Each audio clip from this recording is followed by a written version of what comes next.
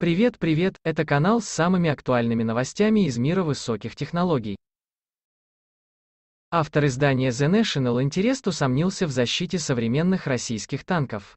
В материале о противотанковом ракетном комплексе ПТРК FGM-148 «Джавелин» Себастьян Роблин предположил, что характеристики танков Т-72 Байта-3, Т-80 БВМ, Т-90М и Т-14 недостаточны для защиты от противотанкового комплекса из США.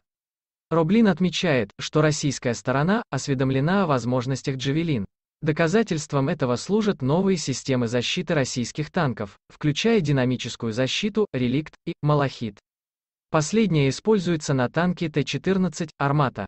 Считается, что «Малахит» способен защитить бронетехнику от атаки ПТРК при угле подлета до 60 градусов. Это позволит защитить танк от снарядов, атакующих сверху.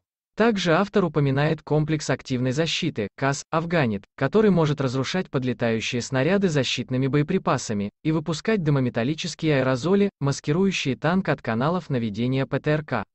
Роблин считает, что новейшие ИК-датчики американских ПТРК способны различать цель даже сквозь облако завесы и могут отличать вспышку от первоначальной цели.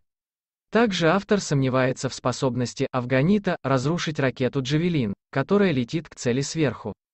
В качестве аргумента Себастьян Роблин приводит расположение пусковых установок разрушающих элементов КАС почти горизонтально под башней. По его мнению, это не позволит защитить танк в верхней полусфере. В завершение материала автор The National Interest подчеркивает, что подобное сравнение условно по причине отсутствия данных тестов российских систем защиты на обстрел ракетами «Джавелин». Если видео было вам интересным, пожалуйста поставьте лайк и подпишитесь на наш канал.